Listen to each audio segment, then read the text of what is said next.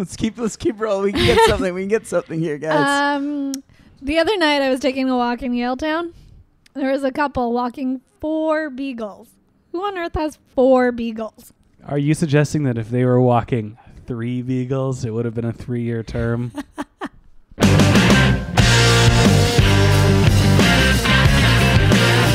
Oh, we, we get a lot of shots. Everybody come to their net. We, we just have to get more and more pucks to the net. What were you saying about putting pucks on net? Pucks on net. Pucks on net. Continue to put pucks on net. Pucks on net. Well, that's the key. We got to get the puck on net. We used to talk about in Vancouver getting pucks on net. Pucks on net and, and uh, driving and making a hard night on them.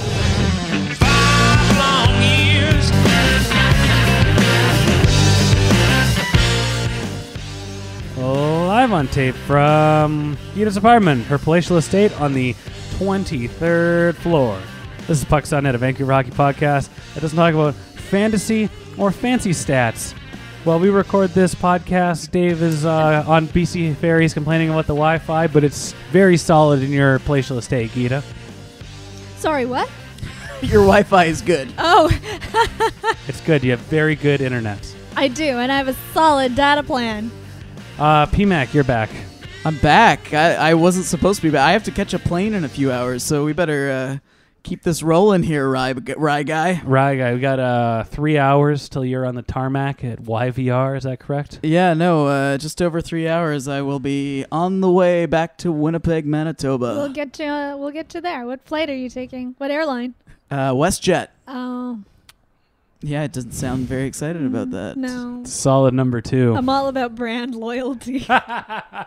I don't know. I've got one of those apps where you get points. So uh, even though the company's paying the cost of me flying back and forth, I get the points. It's okay. all and, right. and he has an hour and 15 minute layover in Cowtown, which he means he will go to my favorite Canadian time killer, which is the Chili's in Calgary.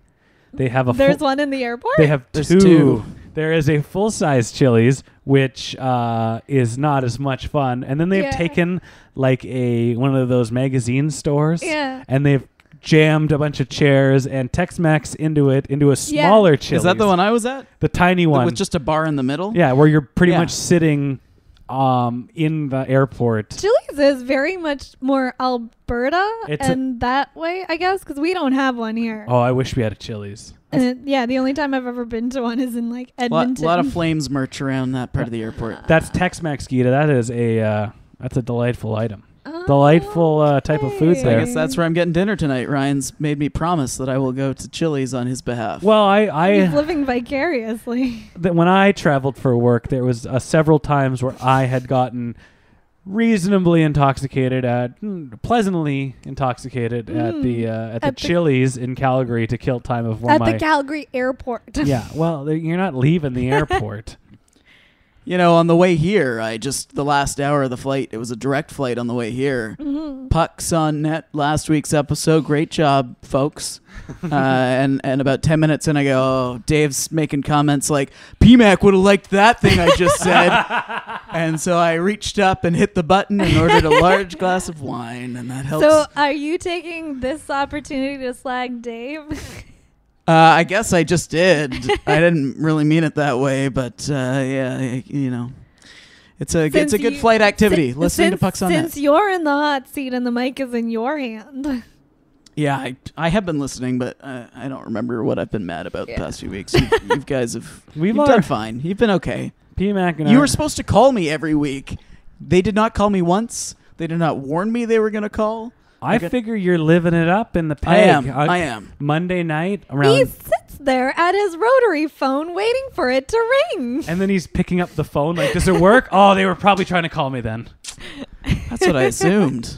I just, I have mental, I have my own idea of what you're doing in Winnipeg on a hot summer's Monday Eve, and and gabbing about where John Tavares might go is not part of it. yeah, I'm- no, I'm I'm okay with you not calling me. Don't worry about it.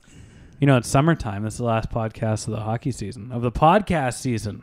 You guys excited about that? Yes. It's been a long year. We've had a very long year, everybody. My name is Ryan. I'll be your host for this afternoon because it's about 1.47 p.m., which is uh, out of the ordinary for us. Ryan, uh, it's a Monday long weekend. yeah. Geeta, that's you. You're sitting uh, to my immediate left. I am, and I'm hosting this show Yeah. Oh, you are. in, in my palatial estate. yeah. And after this, we're gonna drive uh, to to pay your property taxes. That's right. So that we can continue podcasting in this very location. As opposed to being live on tape from South Burnaby at Geeta's parents' house. Your dad can't be on the show. I don't care how many times he asks. I'd put him on the show. He might have a thing or two to say. I maybe I. I, take he's that. got a lot He's of a- grit. He's a big Leafs fan. He's a leader. He's got experience. As a Leafs fan, at the age he is, he's experienced a lot of trials and tribulations. I like to every and now persevered. and then remind him that he was alive when it was just the original six. so he was alive when they won the Stanley Cup last time. That's right. and that's PMAC back Wait, what year was that? 67. 1967. Yeah, he would have been. And before that, they didn't win another till 1962. That was the year he was discovered. Bill Barilko. Bill Barilko. Thanks for uh, joining us. For, Tragically hip. where you got us from. Make sure you follow us on Twitter at PucksNetCA or PucksNetCa. Paul? Oh no! Go Jets. No, Geeta? you're not getting that, are you? Dave's di- ga- Dave will give me a caw that will echo from the Strait of Georgia on the Queen of the. I don't know what boat would he be on. Oh, Pacific Spirit or whatever it's called. He was- celebration, coastal celebration. He was Dave's gonna just call- calling at some orcas, probably. You damn whales! You're ruining my weekend.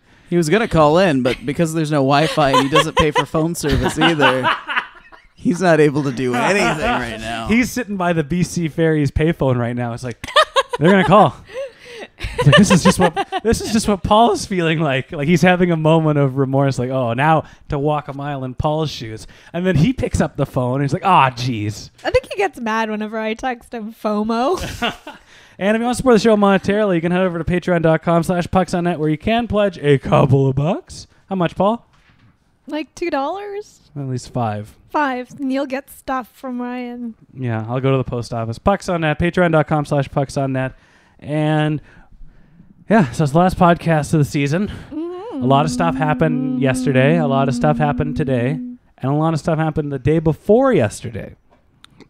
Has anything happened since like this morning? Uh, I don't know. I've been watching soccer all morning. James Neal is in Calgary now. The real deal James Neal That's right. is there for four, five years at five Is he going to improve the Calgary Flames substantially?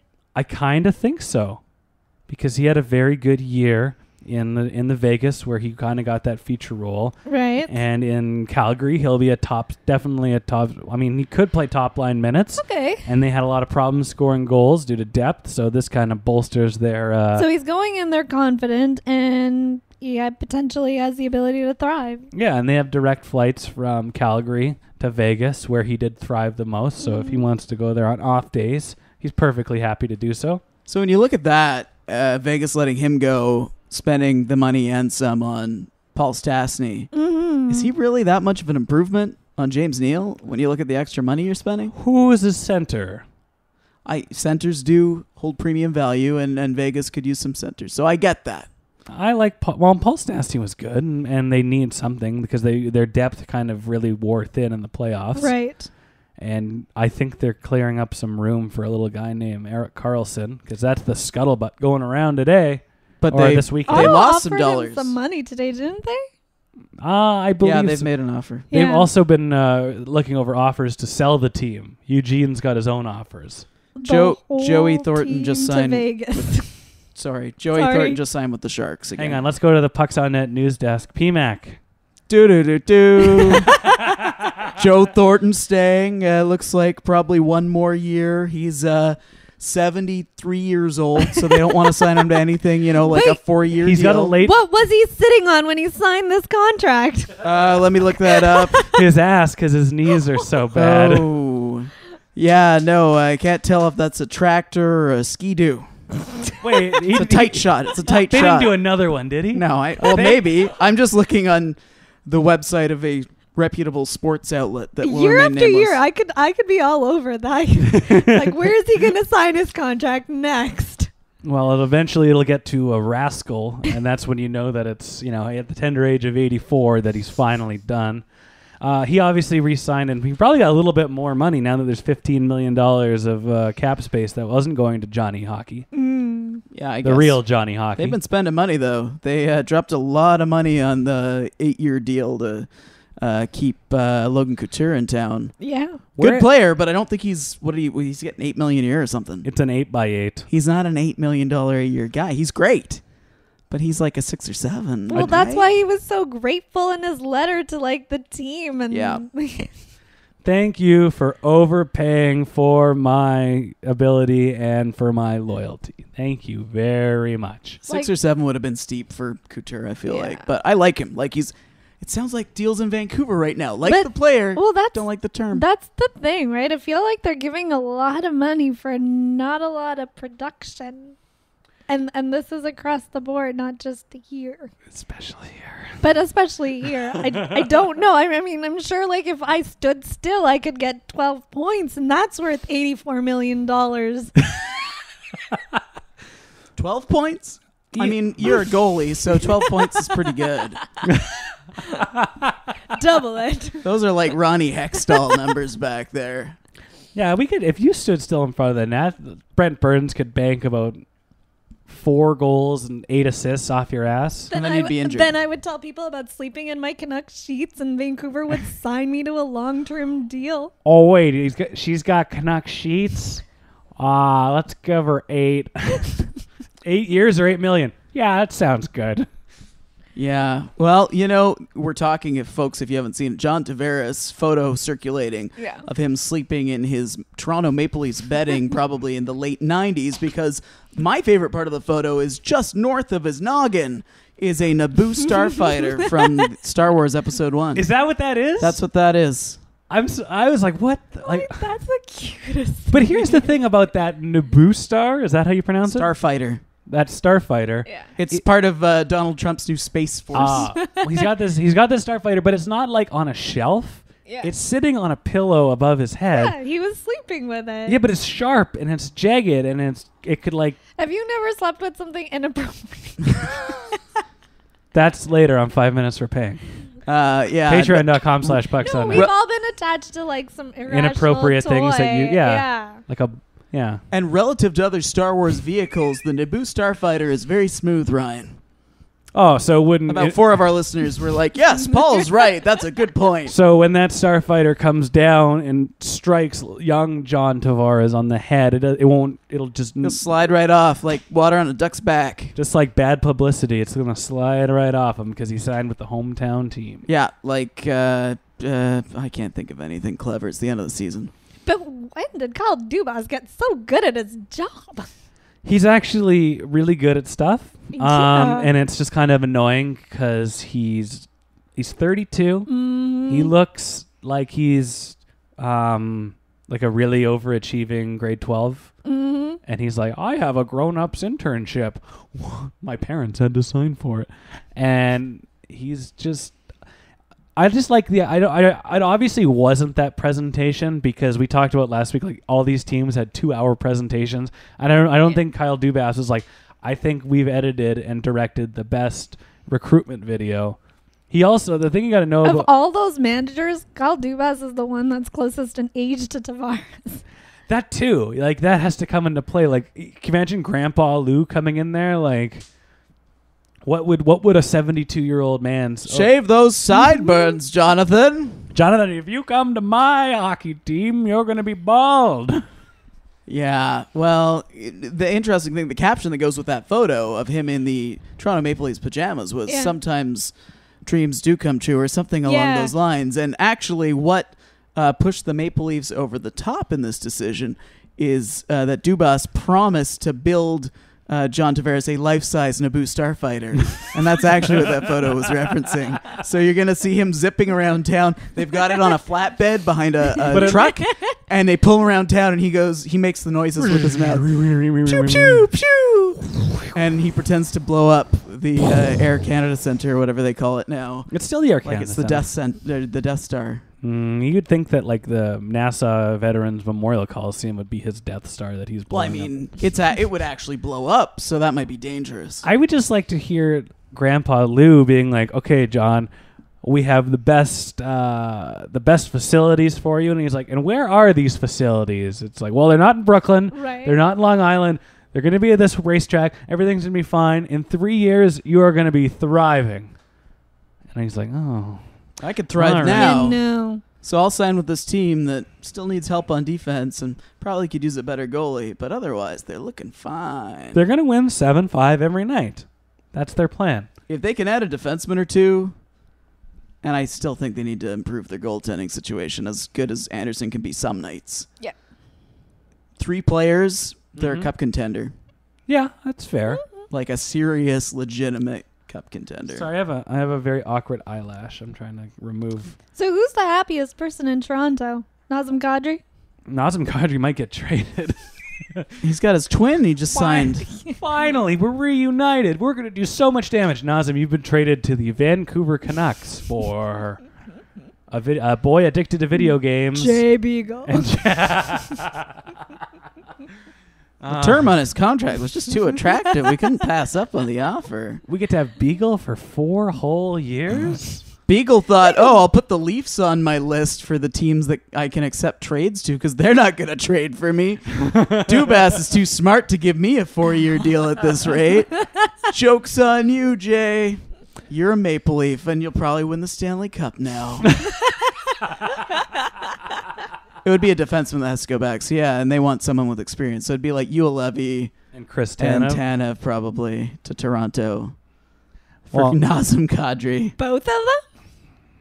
well, it's like one and a quarter player. Okay, fine. Toronto would give something back. It's not something good.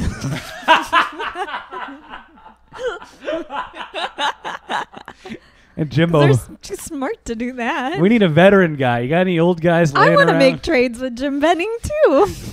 You'd have a much nicer car. um. So no, Jimbo isn't a bad trader. He's a bad signer. Is that what Are we going to get into the Canucks signings, free agent signings? Uh, okay, here's the rest of the things you need to know about John Tavares. He loves the Toronto Maple Leafs. He is a Maple Leaf boy. His sheets say Toronto Maple Leafs. He likes Star Wars. He has a $77 million contract. He's going to get $70 million in signing bonuses. I don't know if that's confirmed or a potential.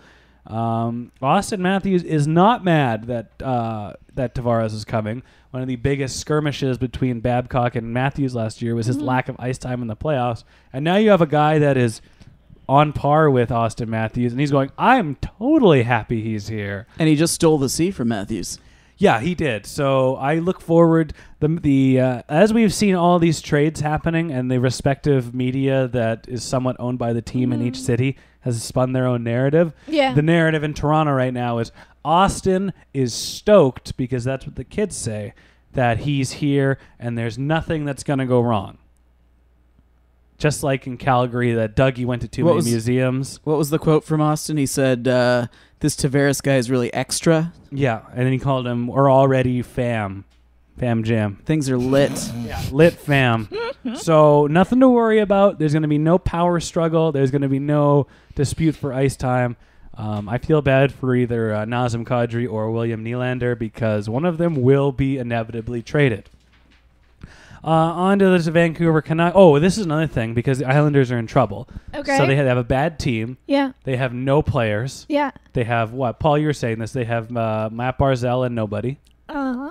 I mean, they got a few players, but they're basically back to when they had young John Tavares and a band of merry men, Yeah. Yeah, so they merry are misfits. They are restarting this very fun trend of Mm. digging themselves out of a hole, and they're still paying Rick DiPietro 1.5 million dollars every Canada Day That's amazing. until 2028.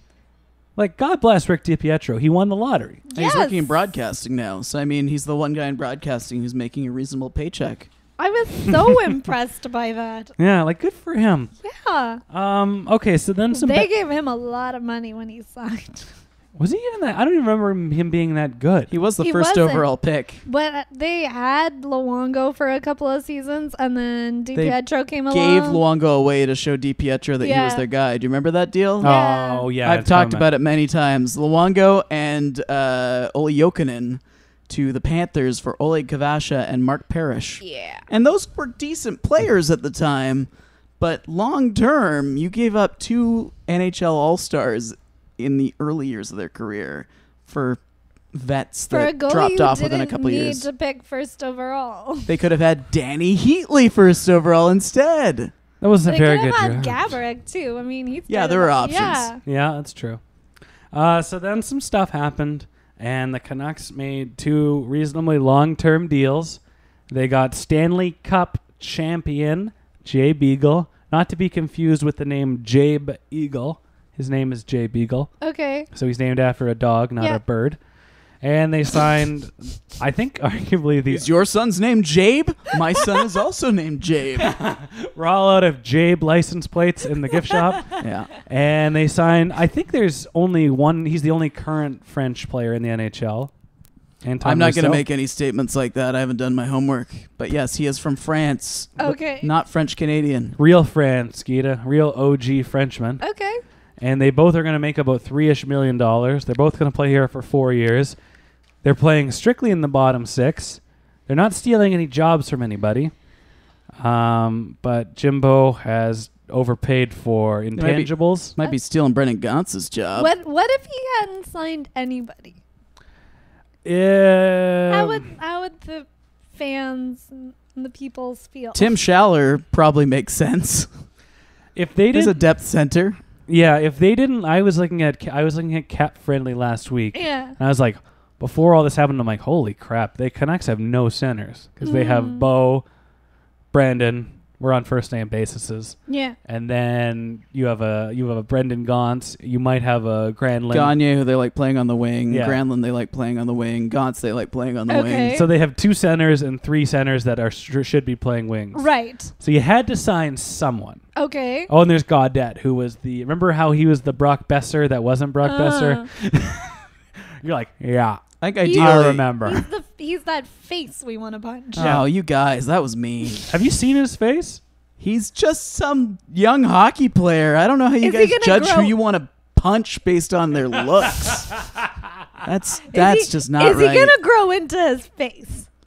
No, is yeah, he, he I hope so. It's all, when Yeah. did this show become let's judge people's appearances? episode four. Ugh.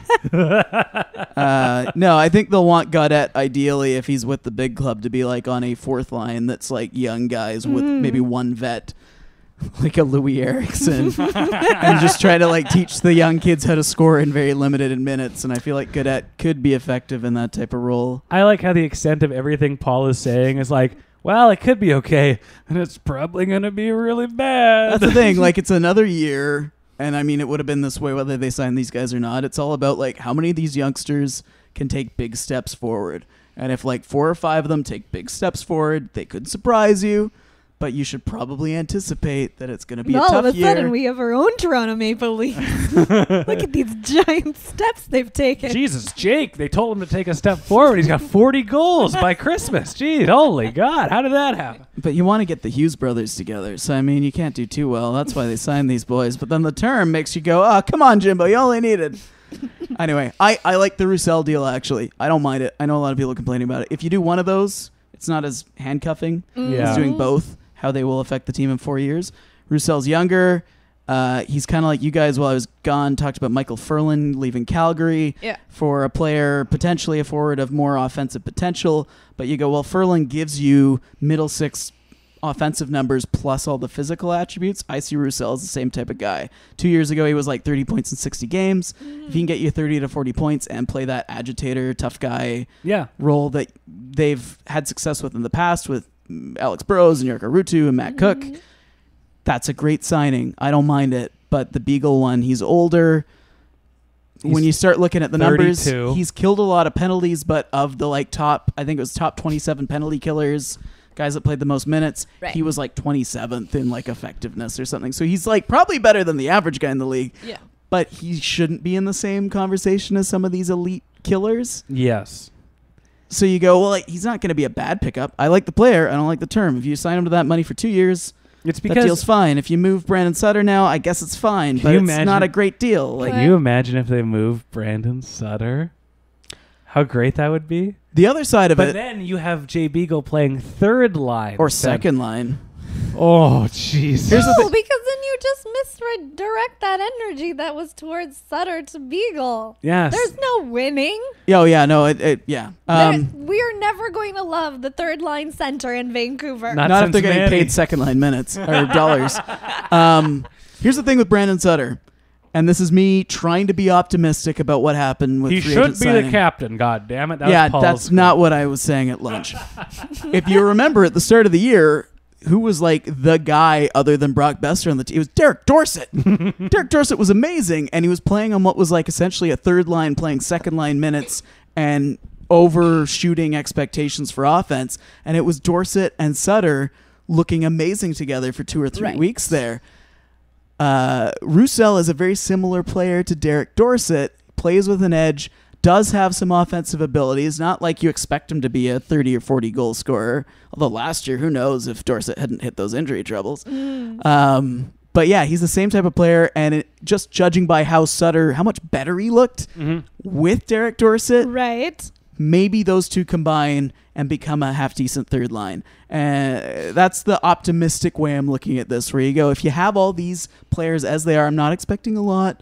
I'm not expecting a playoff appearance from the Canucks, but they could have a the makings of a third line who are paid like a second line potentially. That's like fine defensively, can physically match up with other teams' top lines and pop in some goals. Uh, and then you fill out that line with I think Granlund was playing there. I think Gagner was playing there last year with the Dorsett unit. Yeah. Um, you know, you've got some you've got some options there. The Canucks, all their bad deals for the most part expire four years from now. All I think all the bad ones. Eriksson's Okay. done in four years. Brandon Sutter might be a little bit. He's around there. He's around there. Sam- Yeah. And you're already assuming Beagle and Roussel are going to be bad players. And I mean, but there's also next summer where he can make more bad signings. I don't know what. Like, uh, the Canucks were really bad last year. We went Yes. to a lot of games last year, and you watched in person. We watched a lot of bad hockey. But I I don't remember myself watching hockey so bad where I was audibly just like, "Oh, what are you doing?" Like I felt like a hockey dad. Like you guys are not paying attention in mm-hmm. practice. You're making mistakes. You shouldn't I be. feel like you've been to some shitty blowouts last season. Ryan's not taking the Canucks for ice cream after these No. games. I would not. I'm unimpressed. guys can walk home. Ice cream is for winners, or at least guys who try to Cause win. that's because Ryan showed up to the games against the Phoenix Coyotes, the Calgary Flames, Those per- powerhouses. those Sunday afternoons against the Minnesota Wild. Give Wild. me some Columbus Blue Jackets. Uh, I Colorado, Colorado Avalanche, but like they were so bad last year. And if any of their like, and they have no depth at center, so I don't have a problem with Jay Beagle being signed. Like this is a bad team. This is a really bad team, and nobody Uh. wants to play here. Nobody wants to play here.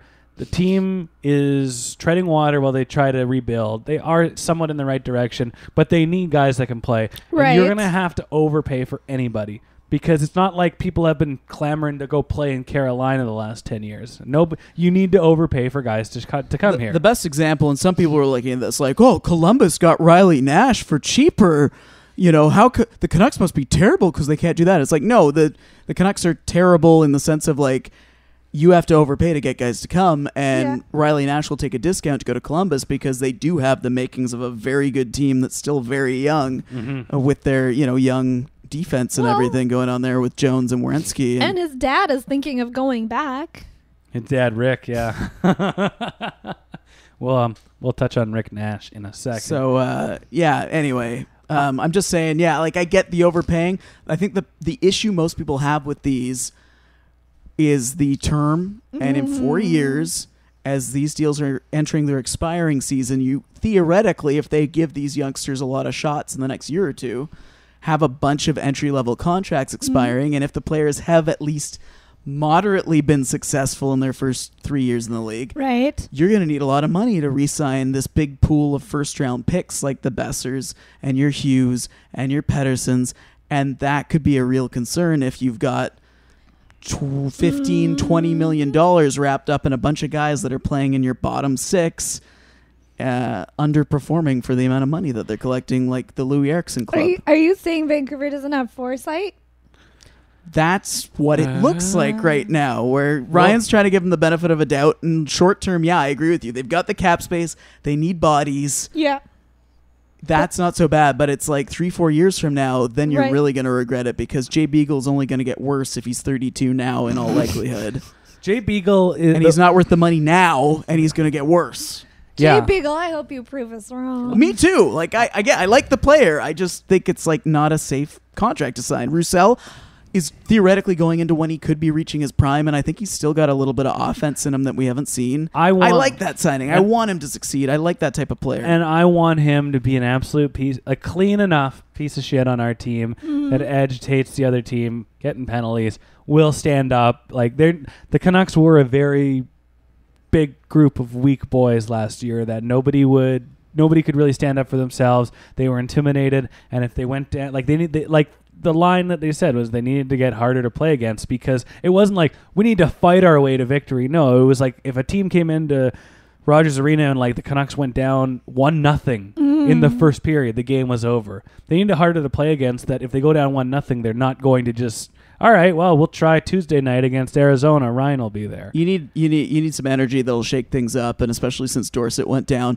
they picked up Brendan Leipsic, who in junior at least was more of a disturber of things. Mm-hmm. Well, and Eric, if he gets back to that way and joins forces with Roussel, you could have an interesting you know makeup of a third or fourth line there.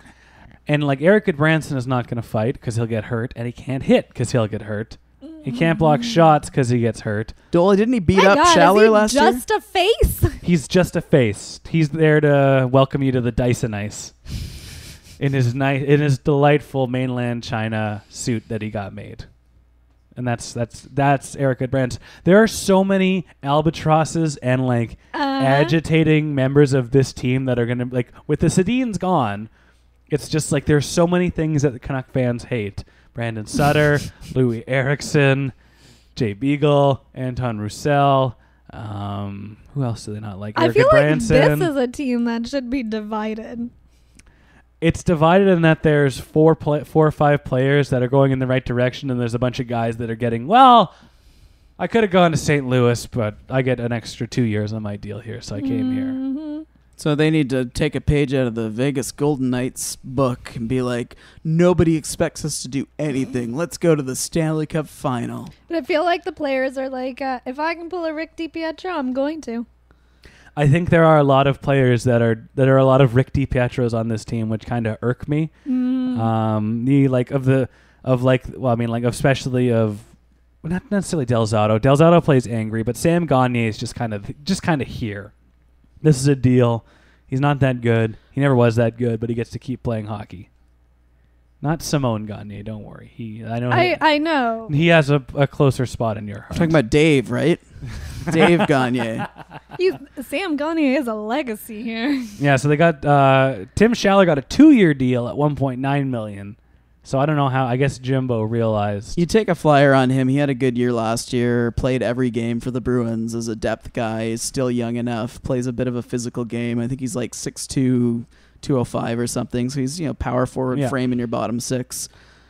If you see something in his game, you think he could get up between 20, 30 points next year. That's a good. That's a good little signing. He's gonna turn into a guy that the Canucks fans will hope that Jimbo will flip to a contender at the deadline for picks, and then get uh, next year Theoretically, or the year uh, after. He that that signing in particular is the one that was really the nail in the coffin for Brendan Gaunce, I think, because Brendan Gaunce is supposed to be that type of guy, and he's not. Mm-hmm. Um, and they see something in Schaller where they've been trying out these like Nic Dowd type of bodies Okay. that are like, oh, they could be better. Let's see what they do if we give them a little more ice time than they got in their last place.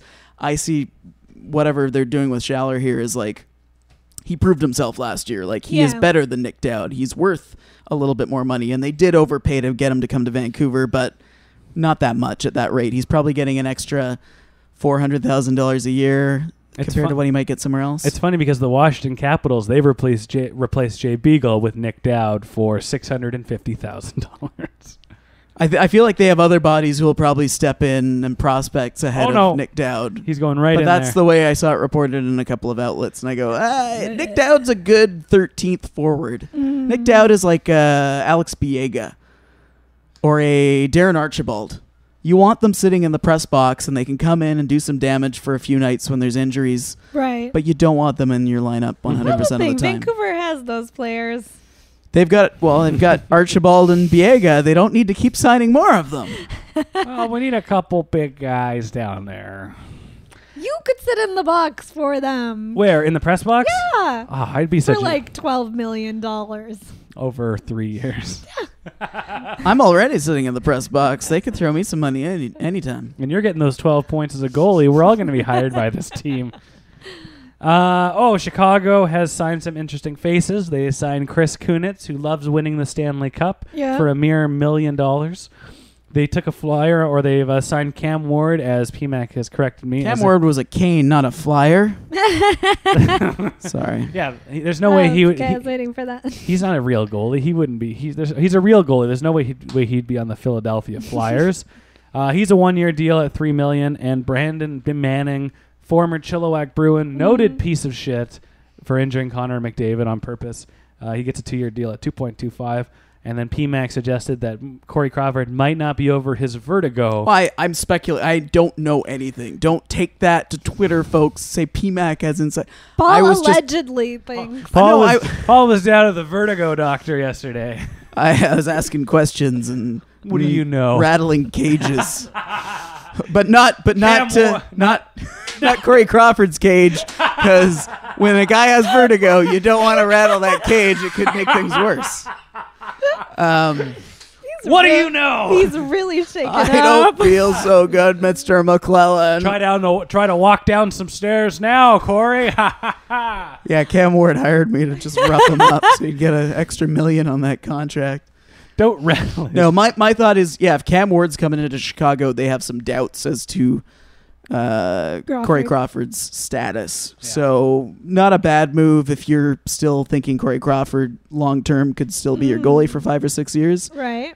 Uh, Cam Ward can bring some stability if they're splitting time or if he's starting the year out as the starter and, Yeah. and they're trying to ease Corey Crawford in as the year goes along. Uh, more. uh, photo uh, bomb or photo uh, former selfie uh, uh, partner of mine, Rick Nash, has removed himself from free agency, and nobody knows what that means. Um, but he is not looking to play for a team right now. Could it could it mean that uh, he doesn't want other people vying for his rights and he just wants one suitor? Columbus Yeah. to go home and wear the blue B again one last time. Yeah, something like that. That's Suter, is he going to Minnesota? it worked out for Mr. Stahl so well last year. No, but but um this isn't some this isn't typical around the league to remove yourself from free agency. Well, he's apparently a smarter guy that sees that there's more to life than hockey. Okay. And he's had a handful of concussions, and he's 34, I believe. yeah. 34 or 35. This is a Mats Sundin situation. I, I it kind of seems like that, where like I don't. Wait, he's going to finish in Vancouver? Mm, A team like Vancouver. Vancouver is not a team like Vancouver right now.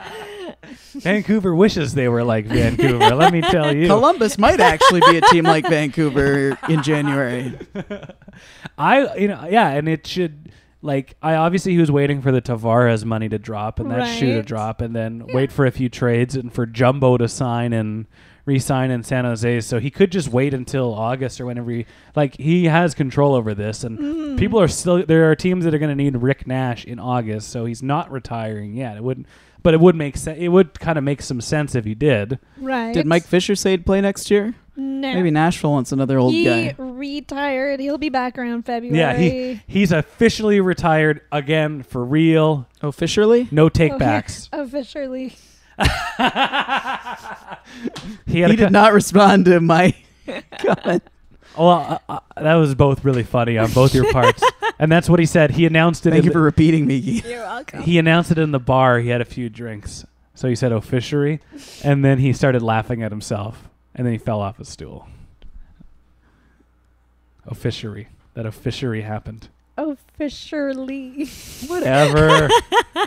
you think you're Wow. so funny? I made such a great little You pun there, did. and then Ryan just drove it in the ground. officially. I've you, buddy. Officially in the ground. This is- Officially, this podcast is DOA. Re- Save it for August. Uh, speaking of the teams that are like Vancouver, um, uh, oh, Jack Johnson left. He went to go sign in in Pittsburgh because I mean, Laka Lukalele. I uh, I think he's I think he's going to look quite good in Pittsburgh because But he burned some bridges. um I mean, I feel like everyone leaving Tortorella burns a bridge. yeah. um he he, well, he signed for like 5 years for like 3 something and he gets to play with Sidney Crosby and you get to play on a contender and there's lots of room for him to be a big guy on defense there Okay. because we all know about P- Pittsburgh's famous uh, defense or lack thereof. Yeah. And on his way out, um, old Jimmy Rutherford, your pal Paul, um, I, I don't know Jim Rutherford. You guys know him.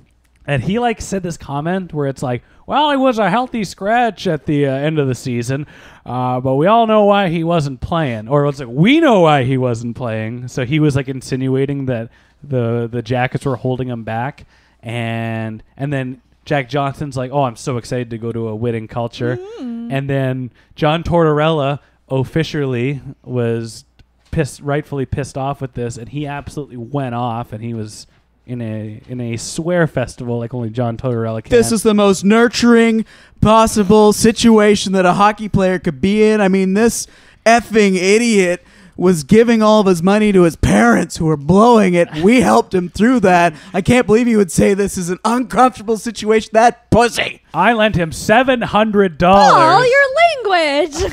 That was John Tortorella. That wasn't me. yes, John Tortorella said. No, that was honestly That- what it seemed like he was saying. It was like we gave him the best situation possible, but it was just like a tirade of swearing and inappropriate language. yeah. Well, and he proved his point that maybe there was a reason Jack Johnson should leave Columbus. Yeah. Well, He- Heather uh, Smart, she asked a question like outside of the swearing and the and the commode mouth. Was it was was John Tortorella really that angry, or was he just saying that he was just just so passionate about trying to help him and doing everything that the Jackets did everything they could do in that situation? Mm. John Tortorella, I don't think he means to be wh- how a lot of people perceive him, but is that an excuse? Is he the kind of dad that's like, if you don't tell me why you're crying, how am I supposed to help you? Is it like that Well, kind of that's the scenario? No, I don't even think he'd ask you that. I think he'd just call you a name for crying. I get Yeah. that I'm not going to repeat because I got in trouble for Mom- putting my mind in the place of John Tortorella. yeah, mom got now. mad at you. like, For, Sorry, Geeta. Or is that liquid soap? We got to clean your mouth out. Um, no, I don't think the situation was handled right. I would, I would suspect. Um, he's trying to make a break with a bad situation. But would wouldn't you be upset if you were John Tortorella when? Here's when- the thing: John Tortorella thinks he's helping. No, but I'm talking about um, when Jim Rutherford's like, we know why he was. I know why he wasn't playing, and let me just say it wasn't because he was playing bad. Like that's. And that's the thing. He's got a lot of off ice baggage. We've talked about that. hmm But you're not you're not scratching somebody because his he's he's. Uh, But if his Gone head bankrupt. wasn't in the game, And they have better defensemen in Columbus. yeah, Columbus has a good decor. You make a good point. yeah. But You got a couple yeah, good points here. yeah, John Tortorella is what he is. He's probably getting mad at Jack Johnson for not showing up to team meetings when he was the first guy there.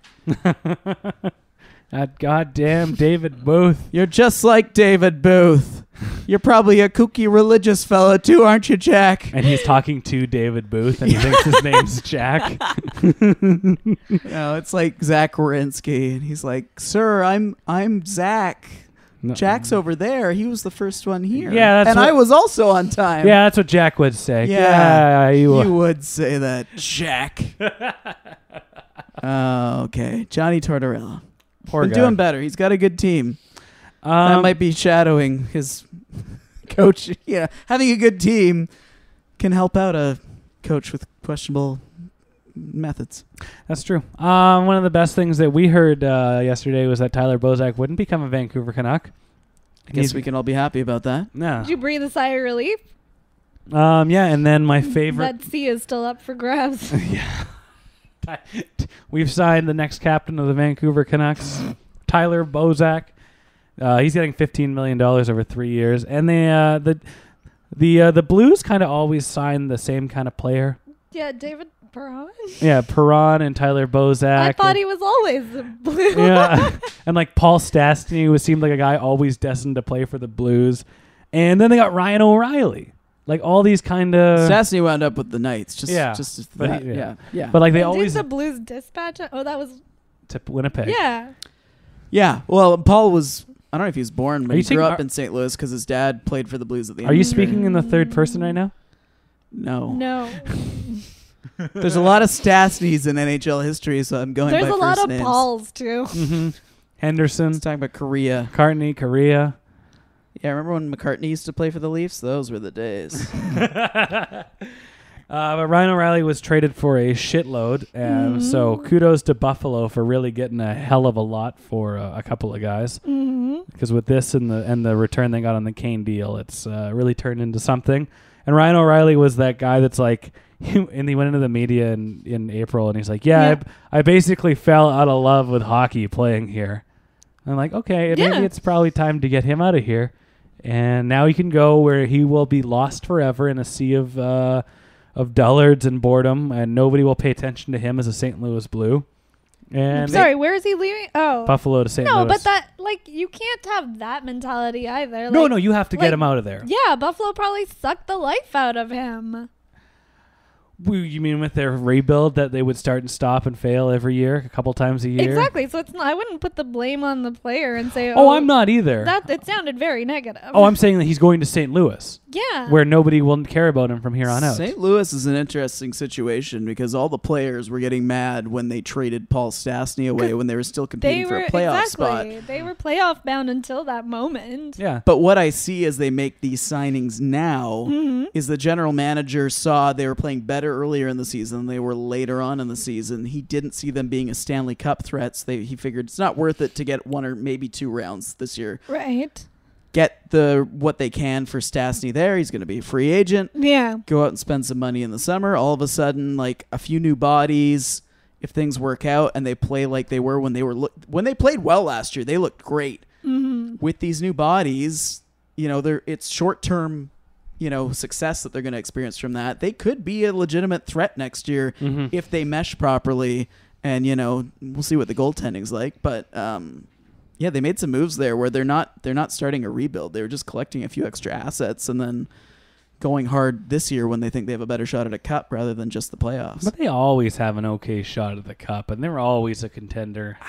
It's it's one of those teams though. Like when they looked good last year, they looked really good. So Mm-hmm. you add a few of these like bodies. They're not maybe superstar all star guys, but they will make a difference as a collective when you add a few players of this nature. Yeah. They're gonna have a very deep team that's gonna be very hard for teams to play. And when they probably look at a team like Las Vegas, they go, anyone can make it out of the West next year for the Stanley Cup Final.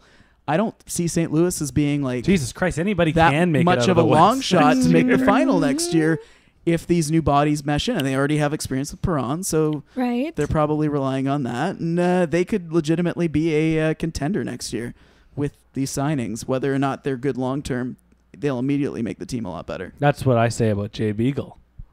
The Canucks are going to Canucks are going to make the signings. final thanks to Jay Beagle. I mean, uh, you ask you ask a lot of these uh, profession former professionals on Twitter we were talking about. They're all like, "You need a Stanley Cup winner on the roster. It makes a world of difference." Yeah, we were talking about this, There and you it's go. like he comes in with a winning mentality. Don't worry, it'll be gone by October 31st. Yeah, we'll drub that out of this Jay Beagle kid. He thinks he can make a difference. Vancouver fans will boo the hell out of him in the first month. I could even see you like just becoming just such a surly reporter, like just tick picking apart every Jay, aspect. did you feel like you earned three million dollars tonight?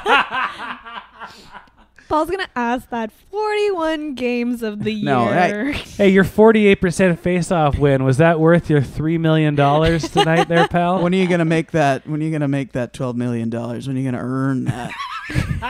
no, I, I think Jay's a good player. I think he's getting too much money for too long. That's There- that's all that is. That's yeah. true. But my one positive with Jay is that he is going to take. We're on a first name basis with Jay now, yeah. or the Dog Man, as I like to call oh. him, because he's the Dog Man. The Regal Beagle. old Regal. Oh, oh. There's some marketing opportunities right there. Don't crown him just yet. For those, oh, I like that too. That's a good pun. Uh, for those not in Vancouver, there is uh, an establishment called the Regal Beagle in Vancouver, which I believe is a Toronto Maple Leafs bar. I think it is, isn't yeah, it? there are a few bars in this town. There is the Black Frog, which predominant, which is a, somehow an Edmonton Oilers bar. Yeah, we've been to the Black Frog. and I wouldn't have known it. I just known it as a bar. But yeah, the Regal Beagle is a Maple Leafs uh, establishment. So they probably will put out a giant cardboard cutout of Jay Beagle, but they'll be mocking the Canucks fans. yeah. or they'll be like, "This, you know, you think our prices are like the opposite of Jay Beagle's contract, But They're it'll like- manageable and uh, affordable." They lost eight seven tonight. So really, do the Leafs have any ground to make fun of Canucks fans with? Um, the dog man, the Regal Beagle himself, the big dog, he- Jay. Big J. He will uh, take a hundred percent of all defensive draws on the Canucks outside of icings. Big Bad Bo will only have offensive minutes. That is a one positive I'm looking forward to. Are you giving Brandon Sutter the neutral zone then? Uh, he'll just kind of be there. Keep go go further. Go further, Brandon. He's mostly Yeah. on the team for his leadership qualities. Yeah, he'll be there wearing the C right in the middle of the bench, just where we want him. Barking orders. That's be that's the that's the big dog's job. Yeah. He doesn't. He doesn't. Travis's right hand man. Uh, that's about it for news. So we'll go to some questions here from the Twitter folk. Um, Yerky21, he always comes with the hard questions. Um, and he's going to ask this, and he goes, What value added does Trevor Linden bring to the Canucks front office? Honestly speaking, being recognizable, doesn't it help? Uh, it doesn't help. He's if certainly doesn't- no Brendan Shanahan. Yeah, it's a tale of two cities right there, Geeta. Brendan Shanahan had other jobs in hockey. Did he Uh, manage a gym? Maybe. I don't know. like I'm a not- Benning? That too. That's why they hired Trevor because they knew he was good at managing gyms. A whole chain of them. Oh, that was bad. This Uh, whole episode is just uh, dadjokes.com, and I love it. Um, we don't give a fuck. Yeah, no, he should have been hired as a support guy to learn at the ha- you know side of a experienced professional, but they just threw him in because of who he is, and I feel bad for him. And I don't think he's to blame for anything. He's just been handed the reins, uh, you know, and, but never learned how to ride a horse. Like it's it's Yeah. how much can you put blame on Trevor Linden for all of this? I put that on o- uh, ownership more than him, and I mean, yeah, I guess that's making excuses for him, but He was a he was a positive PR move. Yeah. And we thought that great, Trevor will be president and there'll be a smart guy directly under him because this is a very smart ownership group. And the smart guy never showed up. And Trevor hired guys that had buzz and they would have these guys and Jimbo and Willie would have been hired somewhere else regardless. Um, Pittsburgh Penguins. Yeah, Pittsburgh and Which is fine. Go run the Penguins. Yeah. Can you imagine if Willie went to Pittsburgh? Sidney Crosby would be in Anaheim or something now. That whole team would be decimated. Can you imagine if Chris- He would have been deploying Oh man, Jason I want to Megna live in that parallel line. universe. Oh my God, where Sydney's where they're running four lines in Pittsburgh, offensive zone uh, on an icing call here, Willie. Mm, Megna, get out there.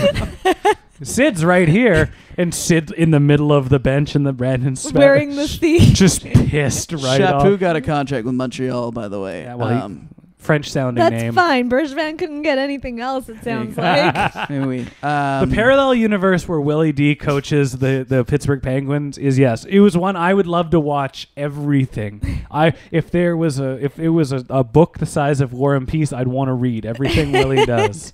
But yeah, Brendan Shanahan did the opposite. He hired Lou, and as much as we might make fun of Lou for being a little out of touch with certain practices, facial hair for one, yeah.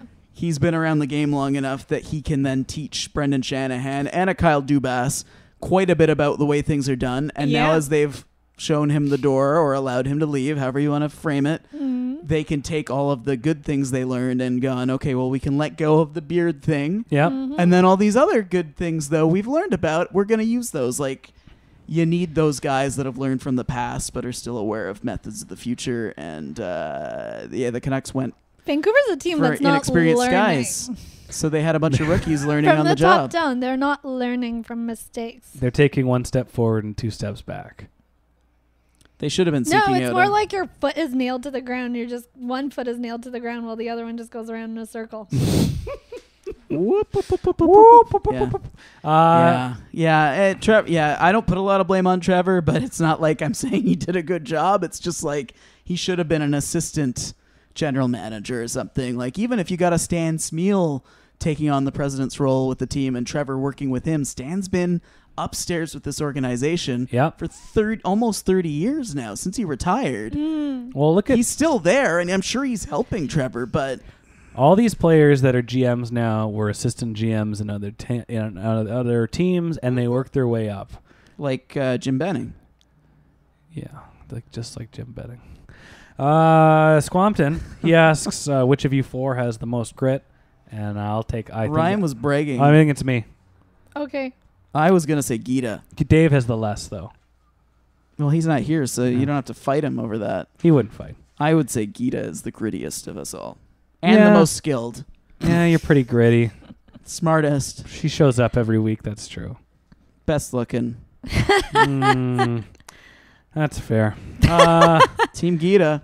Hashtag Team Geeta. I uh, like I, I didn't really understand it. I'm like none of us are in any corners.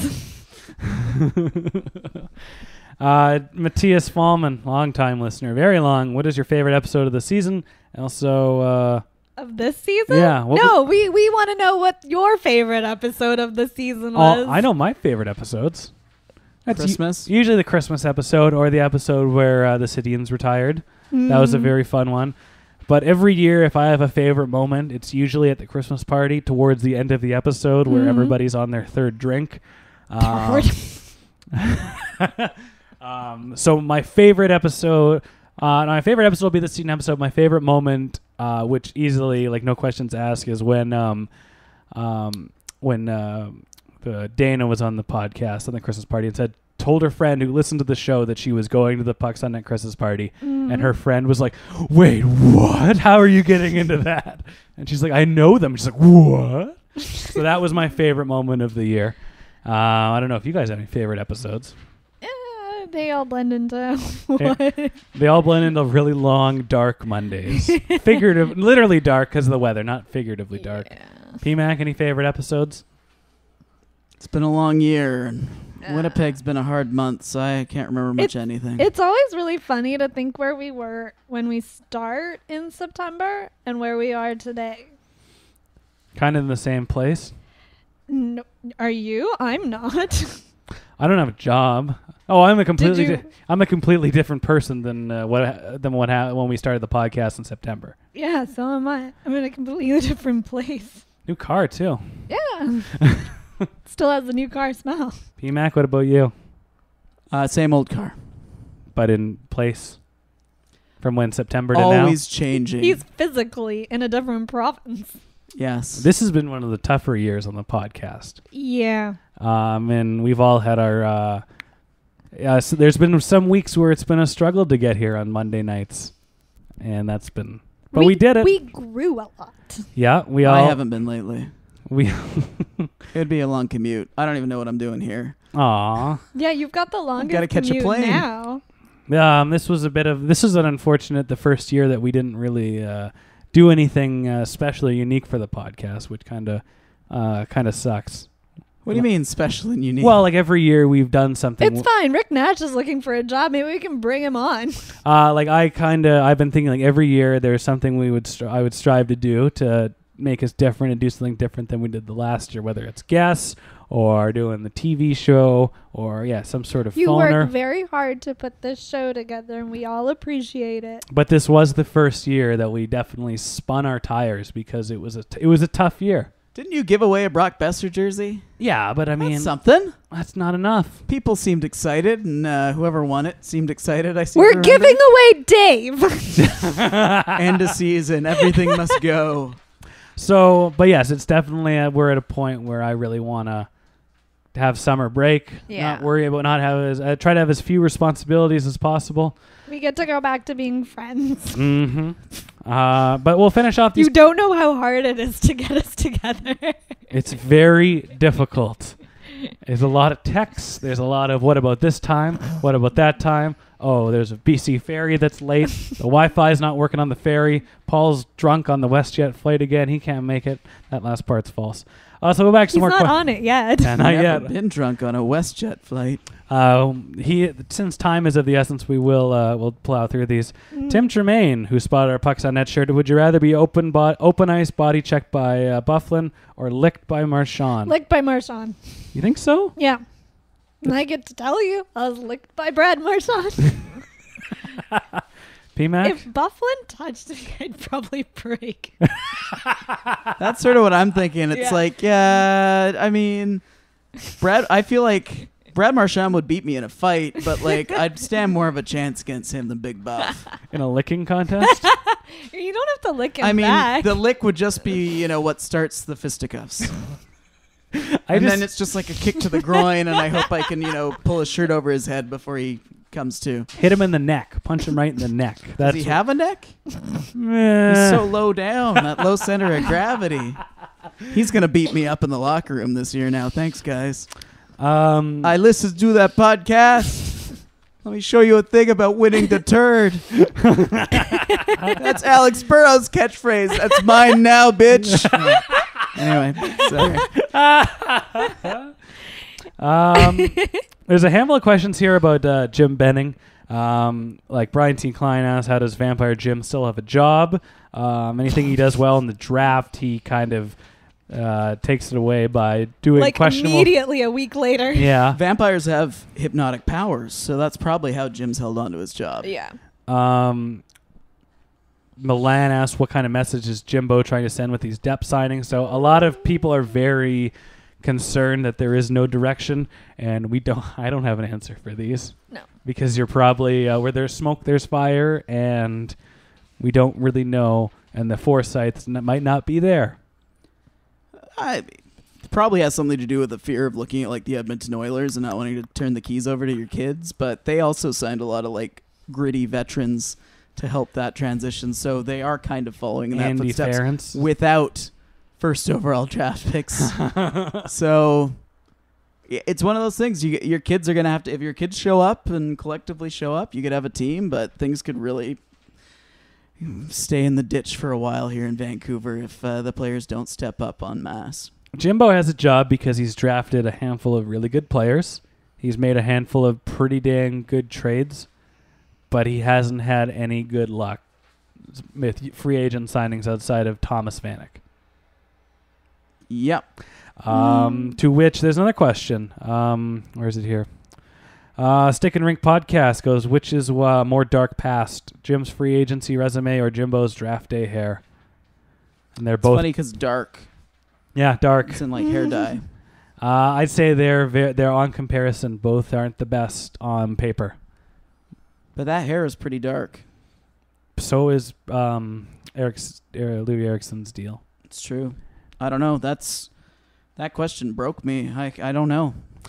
Uh, yeah, so we'll wrap it up there. Oh, and uh, there's um, we're supposed to give a shout out to all our listeners in England. Apparently, there's a bunch of them, and somebody has requested that. Okay. That's great. Let's give them a shout out. We're watching an English soccer match right now. And yeah, oh, There you and go. and Boxcar Baez asked one Jimbo UFA who met, ever met expectations, and yeah, it's Thomas Vanek.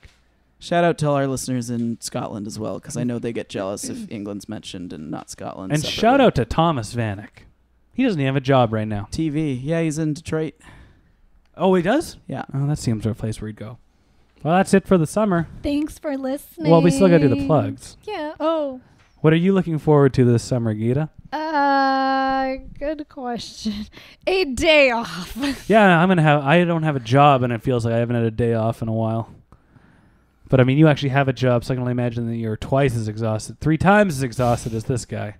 PMAC, your summer. What are you looking forward to? Um, uh, enjoying everything that Winnipeg has to offer.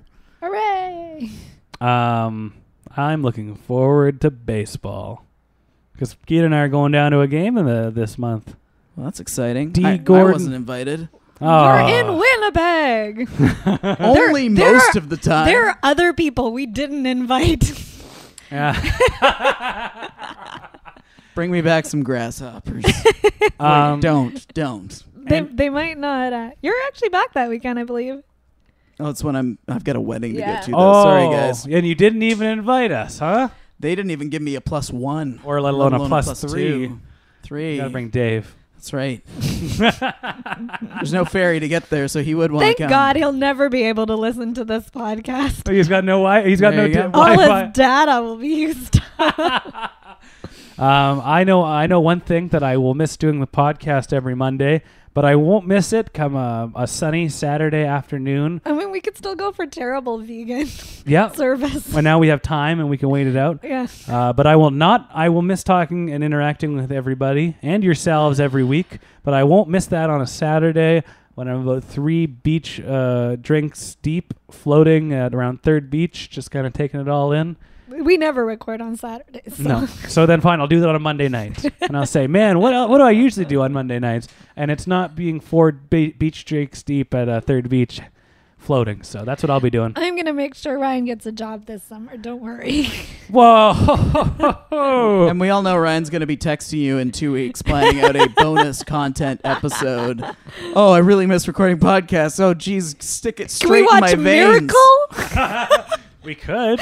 I've never seen Miracle. Who are you and who do you play for? It stars Tag from Friends. I'll watch Miracle. We could do a Patreon Well, episode. Uh, Whoops. It's There about the go. Vancouver Canucks, who are mostly American youngsters now, college kids. Uh, so yeah, that'll wrap it up for the summer. If you listen, started listening for the first time this year, we thank you a lot. If you bought a, a T-shirt, you subscribed, you rated and reviewed, anything to help spread the word of the show, we thank you very or much. that you just stuck with us for nearly 200 episodes. yeah, this is 195, and uh, so we thank you for uh, listening every week. Um, sometimes we don't hear from. I. It's very nice to hear about people that listen every week that you don't really Mm-hmm. interact with, but that is always um, a delight. Um, so yeah, if you've interacted with uh, us on Twitter, talked about the show, gave questions, done anything, we thank you very much. Um, but one thing we do like about this show is we do take the summers off because there's much more to life than hockey, and we're going to live that. And after this, we'll do five minutes for paying, and then we will go away for a while because it's it's sunny outside, and nobody wants to talk about how Jay Beagle is the wrong thing for this town. Yep. Go I got to go to the airport, boys. Let's hurry this up. Pucks on FCA Ka. Have a great summer. Hags. And can I also just say, my friend Andrew Hill loves your podcast. He Really? lives in Spokane. I turned him on to your podcast, Wow. and I didn't say that I knew you. Did you say your or our? uh, your, your collective, your. The royal And your. I- I usually go your as well. and I told him, he's like, "Oh, what are you guys doing this Yeah. weekend?" And I was like, "Oh, I'm going to the Pucks on Net Christmas party." And he was like, "Hold up, like you know those people?" And I was like, "I was like, yeah."